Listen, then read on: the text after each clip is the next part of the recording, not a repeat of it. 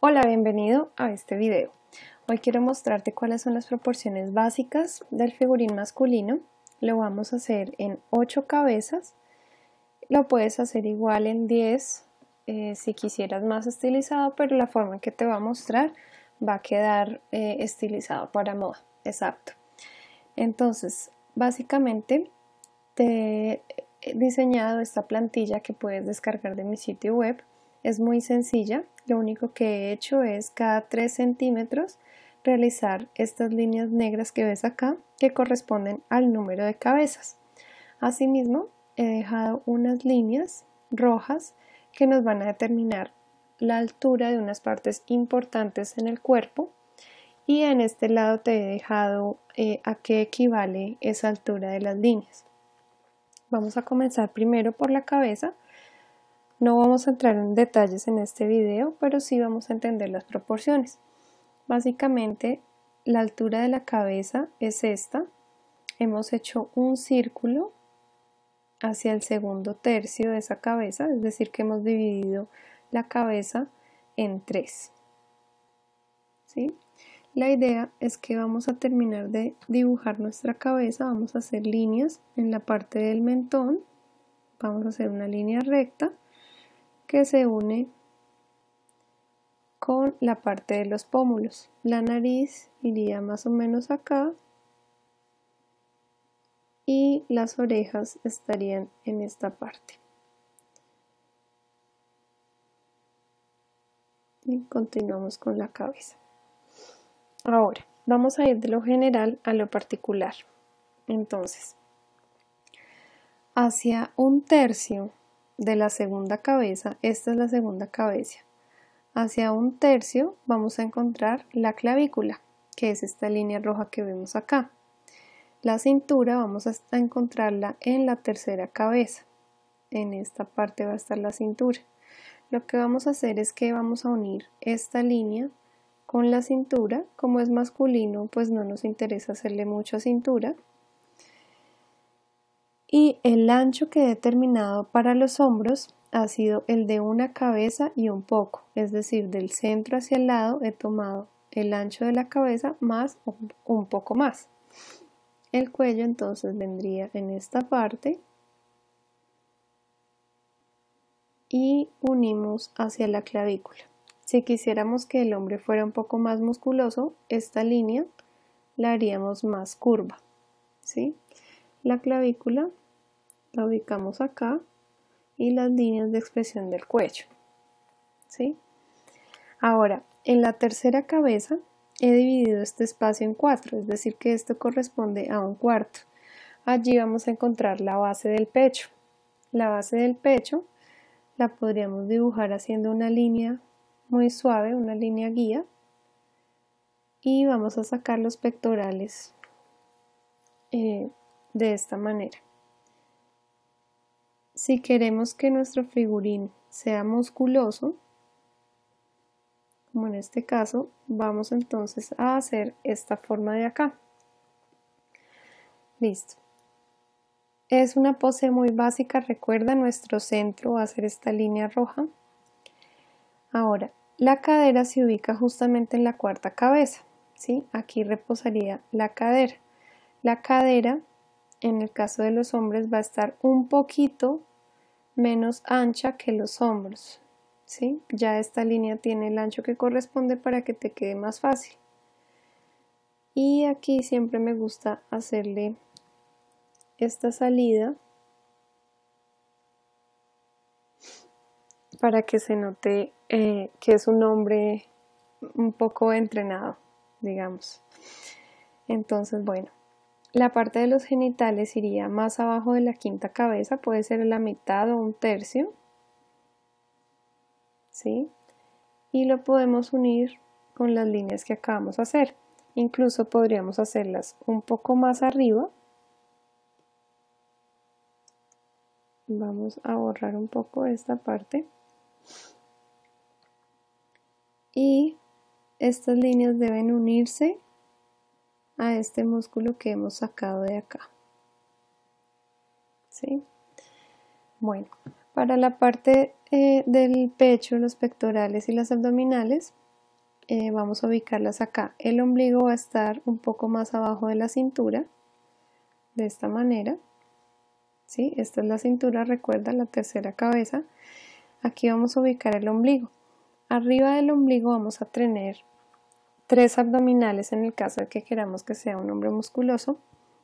Vamos simplemente a hacer unas líneas un poco curvas. La primera es más corta, vamos a hacerla un poco más arriba y la segunda y la tercera son un poco equidistantes y vamos a darle esta forma importante que tengamos el centro un poco marcado. Y aquí le podemos dar esta forma a los abdominales. En esta parte de abajo si lo hacemos eh, más curvo aquí cerramos. Y en la parte de abajo simplemente podemos dejar unas líneas insinuadas de esta manera. ¿sí? ahora las piernas entonces vamos a alejarnos un poco para ver todo el dibujo exacto las piernas entonces vamos a hacer unas líneas guías por donde podrían estar esas piernas. Supongamos que esta está un poco más salida y esta está más derecha. Las rodillas están justamente arriba de la séptima cabeza. ¿sí? Eh, mejor dicho, esta es la cuarta, quinta, sexta cabeza, ¿sí? arriba de la séptima. Vamos a tener las rodillas. Entonces las vamos a marcar. Las rodillas, los tobillos van a estar a la mitad más o menos de esa octava cabeza. ¿Sí? Y a partir de allí vamos a sacar los pies. En este caso vamos a hacer unos pies un poco en tres cuartos para que se note eh, mejor el figurín. El pie de frente no es tan bonito, entonces prefiero hacerlo en este caso en tres cuartos.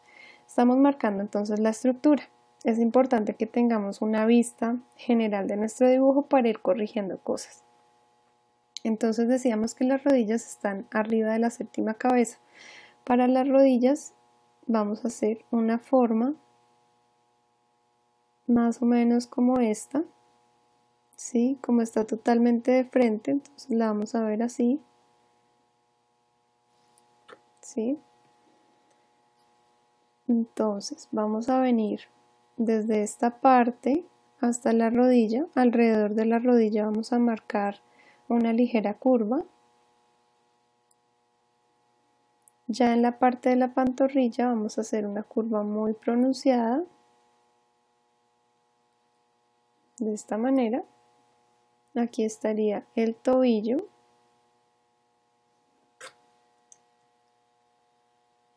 Veríamos solamente este lado del tobillo. Y para el pie lo que vamos a hacer es sacar un poco de talón, lo que sería acá, y vamos a suponer que tiene algún tipo de zapato. No vamos a detallar,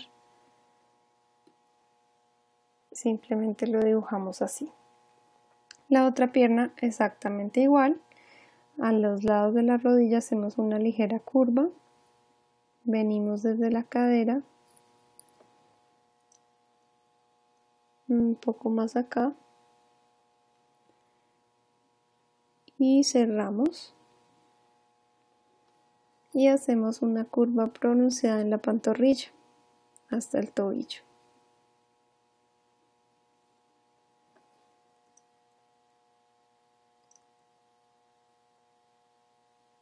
de esta manera y continuamos igualmente con el zapato entonces sacamos un poco de talón Acá los pies lo que sucede es que los estamos viendo más grande porque está más próximo a nosotros. Y dibujamos lo que podría ser un pie o un zapato. ¿sí?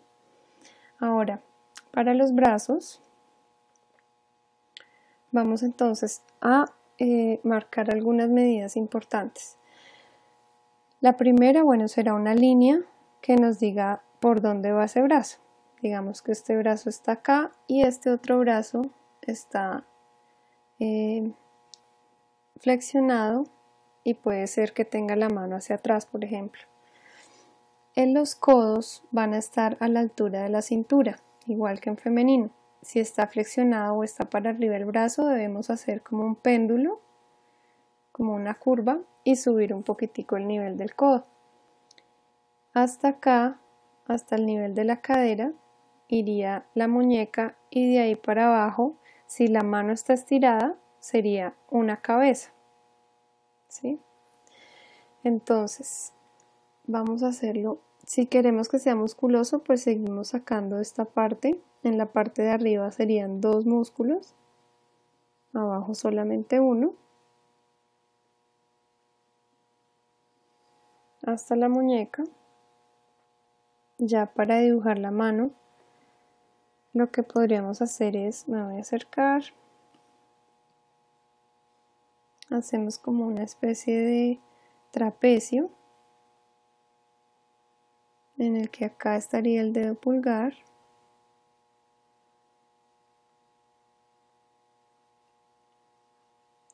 Y aquí estarían el resto de dedos.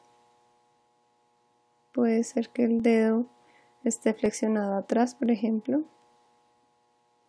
Y lo veamos así. Y el otro brazo que está flexionado igual pues si, si hice músculos en un lado también debo hacerlos en el otro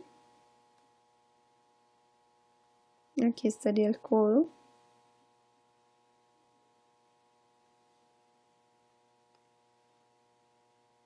Y lo que sería la mano que podría estar atrás o por delante en un bolsillo por ejemplo. ¿Sí? de esta manera ya hemos culminado y dibujado eh, nuestro figurín masculino. Como te decía al comienzo teniendo en cuenta que tenemos un figurín de 8 cabezas y medio lo que puedes hacer para estilizarlo siempre es hacer un poco más delgado, por ejemplo, el torso, las piernas y esto hará que también se vea estilizado. Espero te haya gustado el video, nos vemos la próxima semana con un nuevo video. Un saludo muy especial a John Esteban. Que estén muy bien.